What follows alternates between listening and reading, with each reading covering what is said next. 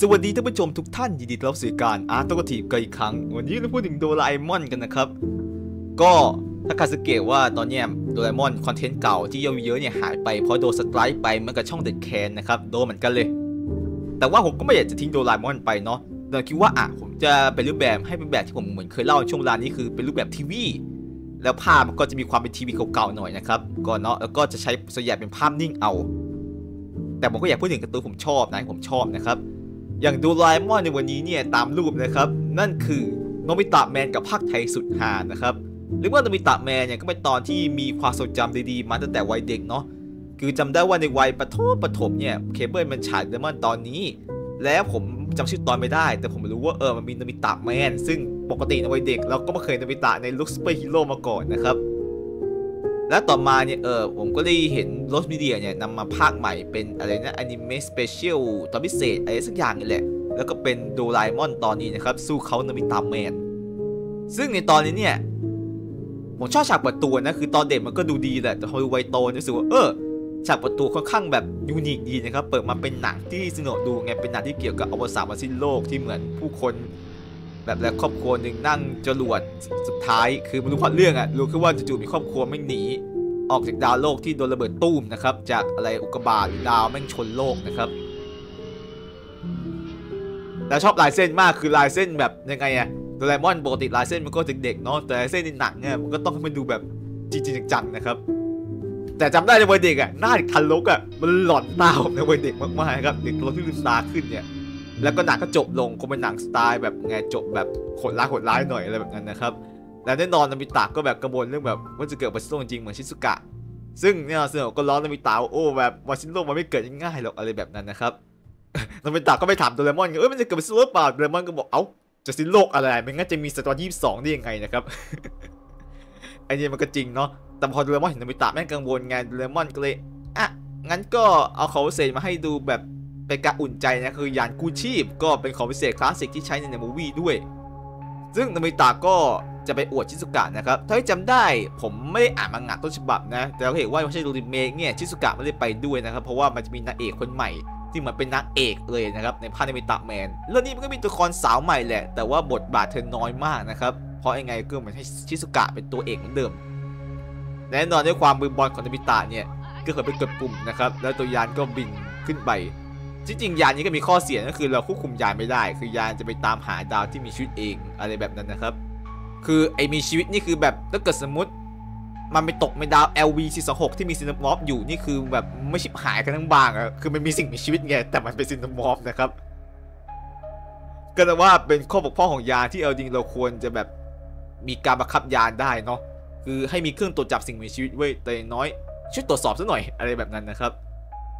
แต่โชคดีที่ดาวไปเนี่ยเป็นดาวดีนะครับ เป็นดาวที่แทบจะเหมือนโลกทุกประการ จะต่างแค่อย่างแรกเราเห็นว่าอะมีพระอาทิตย์ 2 ดวงเหมือนกับดาว Tatooine นะครับ ในซาวอเราก็เห็นเออ foreshadow ว่าเอ้ยโนบิตะสามารถยกรถได้นะครับ ไปเจอครอบครัวหนึ่ง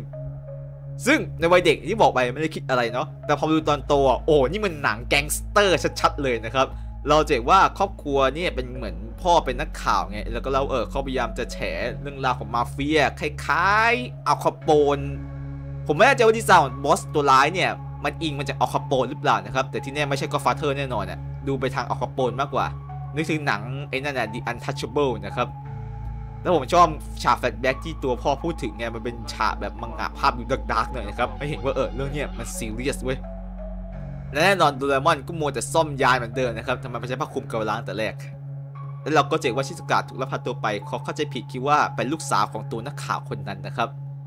แล้วเราก็เจอโนบิตะเออโชว์โหดขึ้นมาไงทำให้โดเรมอนรู้ว่าอ๋อเป็นเพราะดาวเนี่ยมันเล็กกว่าโลกมากแรงดูดจึงน้อยกว่าพลังโนบิตะเลยมากมายมหาศาลมาก ซึ่งก็มันเป็นคอนเซปต์ของโดเรมอนนะเข้าใจได้ คือมันต้องหาความ make sense หรอก แต่นึกภาพไจแอนท์มาอยู่ด้วยนี่ดิ นึกภาพขนาดโนบิตะมีพลังขนาดแบกตึกได้อะไรแบบนั้นน่ะ แล้วไจแอนท์มานี่มันเป็นจอมมารเลยเหรอ คือ ไจแอนท์พลังน่าจะมากกว่าโนบิตะประมาณ 5 เท่า5ถึง10 เท่าได้นะครับชิซุกะพลังเธอก็น่าจะไล่ๆกับโนบิตะ อาจจะมากกว่าโนบิตะในบางครั้งด้วย แต่ในภาพจะเป็นไจแอนท์ดีโอ้โหแบบโนบิตะเป็นซุปเปอร์ฮีโร่ไจแอนท์กลายเป็นมหาวายร้ายจอมมารทาเกชิอะไรแบบนั้น แล้วก็เดาว่าชิซุกะถูกจับตัวไปเนี่ยก็ จริงๆผมสงสัยว่าชิซุกะถูกจับตัวไปยังไง คือแน่นอนว่าพวกไอ้แก๊งพวกนี้มันไม่สามารถจับเธอด้วยกำลังแน่นอนเพราะไม่งั้นคนโดนเธอกระทืบโดยไม่ได้ตั้งใจ ก็เดาว่าน่าจะมีการใช้ยาสลบนะครับ เพราะว่าเห็นว่าในเวอร์ชันรีเมคเนี่ยอะถ้าเกิดแรงสู้ไม่ได้ แต่ถ้าเกิดเป็นยาเนี่ยก็น่าจะพอมีฤทธิ์มากกว่านะครับชิซุกะโดนรมยาสลบก็ได้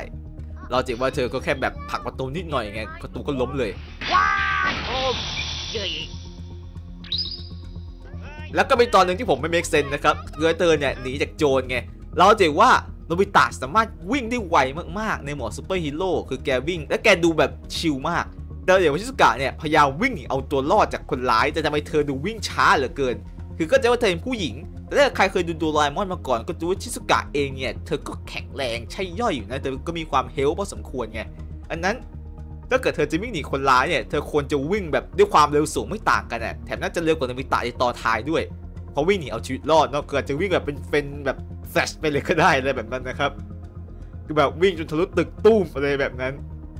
แต่นี่คือแบบวิ่งช้าจนโจรจับได้แล้วก็เธอโดนเธอเหวี่ยงนะครับจุดนี้น่าเป็นจุดที่ไม่ make sense จุดเดียวในการ์ตูนเรื่องนี้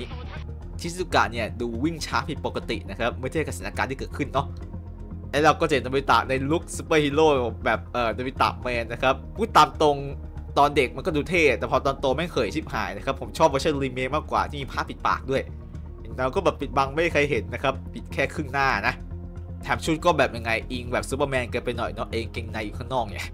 แล้วก็แน่นอนชายผมจะพูดถึงในคลิปนี้นะครับจำได้ในวัยเด็กอะเอ่อพากย์ไทยแรกผมจำจำไม่ได้แล้วมันลืมไปแล้วมันไม่ใช่พากย์ไทยของโรสเว้ยแต่พอโรสมีเดียมาพากย์ไทยแน่นอนว่าน้าต๋อยเราก็พากย์ได้ คือผมอยากจะรู้เหมือนกันว่าเสียง original ของเจ้าพ่อมาเฟียเป็นยังไงอะนะแต่นั่นแหละเสียงของน้าต๋อยอะกลายเป็นแบบอะไรนะ อะไรนะถูกเด็กนั่นจัดการเหรอเป็นไปได้ยังไงกับเด็กตัวเล็กโอ้ยฉันจะตอบๆว่าไงนะพ่อไปเล่นเพลงการ์ตูนไปได้จำได้แต่ผมดูตอนเด็กนี่คือโคตรขำอะคือไม่แน่ใจว่าภาคเพื่อลดความรุนแรงลงหรือว่าภาคเอาฮาร้อยเปอร์เซ็นต์กันแน่นะครับเพราะว่ายังไงซะแบบไงโดราเอมอนยิ่งเป็นทีมภาคนัดต่อยอะยังไงเขาก็คงภาคเอา เอาฮาไว้ก่อนกับการ์ตูนเด็กเหมือนกับไอเซเลมูนช่องเก้านะครับไปคุยกับลักมะม่วงอะไรแบบนั้นไอเราก็เห็นนามิตะก็บุกเข้ามาเนาะปืนไม่สามารถทำอะไรนามิตะได้ ซึ่งเห็นว่าแต่ว่าดาวเนี่ยแบบมันต้องอ่อนแอมากๆขณะไอ้ลูกปืนที่แบบ คือต่อให้เรามีแรงเยอะแรงแรงอัดของปืนมันก็น่าจะแรงระดับหนึ่งอยู่แต่นี่คือนามิตะมันไม่เป็นอะไรเลยไงคือนึกภาพขนาดเราโดนแบบลูกลูกปืนพลาสติกอะโดนตัว เราก็ยังรู้สึกถึงแรงกระแทกนิดๆหน่อยใช่ไหมแต่นี่คือเหมือนนามิตะไม่รู้สึกอะไรเลยอะแสดงว่าแบบมันต้องกากกลับโลกเนี่ยมันต้องแบบเบาบางเบาบิวอ่อนแอขนาดไหนก็ไม่รู้เหมือนกันเอ้ยและที่ประหลาดใจคือโดราเอมอนนามิตะเจอชิซุกะชิซุกะยังอยู่ในห้องใต้ดิน แล้วเหมือนนั่งอยู่คนเดียวอยู่ผมก็สงสัยว่าเธอนั่งทำอะไรอยู่ตรงนั้น คือเธอก็น่าจะหนีได้ไม่ใช่แต่แหละอาจจะหลงทางก็ได้ยังไงนี่ก็เป็นแบบห้องใต้ดินของแก๊งมาเฟียเนาะแถมดูเป็นตึกสูงด้วย เธอก็อาจจะแบบเออมึนๆไงแล้วก็บังเออบังเอิญไปอยู่ห้องที่นามิตะกับโดราเอมอนแม่งพุ่งลงมาพอดีนะครับอย่างที่บอกไปโนบิตะสามารถวิ่งได้ตามตัวเจ้าพ่อมาเฟียแล้วสามารถจับตัวกลับมาได้นะครับที่มันขัดกับตัวชิซุกะนะที่ชิซุกะควรจะวิ่งเร็วกว่านี้มีปมด้อยตัวใหญ่เสียงเล็กเฮ้ยโนบิตะแมนเหรอแล้วก็ฉากที่โคตรเวอร์ประมาณว่าเออแบบจะจับพวกมาเฟียไว้ในคุก เอาจริงก็ให้กฎหมายจัดการก็ได้นะ แต่แหละซูเปอร์ฮีโร่ทำอะไรก็ถูกนะซูเปอร์ฮีโร่จำเด็กอะเนาะ แล้วมึงรอบแบบยกตึกขึ้นมาคือแบบตึกเนอะไหมดูจากตึกเองก็เป็นตึกสูงด้วยไงและแบบสองคนนี้ช่วยยกขึ้นมา ตึกนี่มันก็น่าจะหนักระดับแบบ เป็นพันตันน่ะแบบนี้คือมึงยกได้สบายมากอะดานตัวนี้มันต้องอ่อนแอขนาดไหนเนี่ยนี่ขนาดแบบสองคนช่วยกันยกตึกใช่ไหมนึกภาพจะแอนยกตึกนี่มันคงยกด้วยนิ้วเดียวมั้ง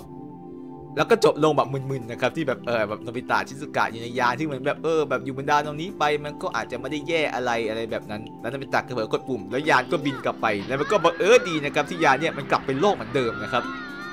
วันที่บอกยานเนี่ยมันสุ่มหาดาวที่สิ่งมีชีวิตไงคือแบบมันไม่บังเอิญตกไปยังดาวของไอ้นั่นน่ะไอ้ดาวตะลุยดาวต่างมิติอีกครั้งเลยไอ้ดาวของชิปโปะอะไรแบบนั้นนะครับ ซึ่งนี่ก็เป็นเรื่องราวของสู้เขาโนบิตะแมนกับพากย์ไทยสุดฮาที่อาจจะจริงเช่นครั้งคลิปนี้เนี่ยพูดถึงพากย์ไทยนิดเดียวเอง แต่ส่วนตัวผมชอบธีมของภาคนี้บางส่วนไง เพราะว่าในเวอร์ชันรีเมคเนี่ยมันถ้าจะเป็นแบบเหมือนการเมืองหน่อยๆไงที่แบบยังไงในเวอร์ชันรีเมคตัวร้ายมันต้องการจะยึดครองนู่นนี่นั่น มันจะมีความแบบunique อะมันมีความเป็นต่างดาวรู้สึกเออนี่มันคือต่างดาวจริงแต่เวอร์ชันเนี่ยคือมันเป็นต่างดาว ที่ไม่ต่างดาวแค่ part ที่ 2 ดวงที่เหลือมันคือเหมือนแนวแก๊งสเตอร์ย้อนยุคอะไรแบบนั้นนะครับไอ้เวอร์ชันรีเมคมีความเป็นไซไฟอยู่เนาะนี่คือดาวใหม่แต่ปกครองแบบแก๊งสเตอร์นะครับมันก็ unique ดีแต่ผมก็ชอบสำหรับผมที่ชอบหนังแนวเออ The Godfather The Untouchable อะไรแบบนั้น แล้วก็พากย์ไทยที่แบบกวนตีกวนตีนนะครับแล้วท่านผู้ชมคิดยังไงกับตอนสู้เขาโนบิตะแมนเวอร์ชันดั้งเดิมเนี่ยก็มาคอมเมนต์กันได้นะครับถ้าใครชอบอย่าลืมกดไลค์กดแชร์คอมเมนต์กันเยอะสำหรับวันนี้ก็ขอตัวลาไปก่อน สวัสดีครับ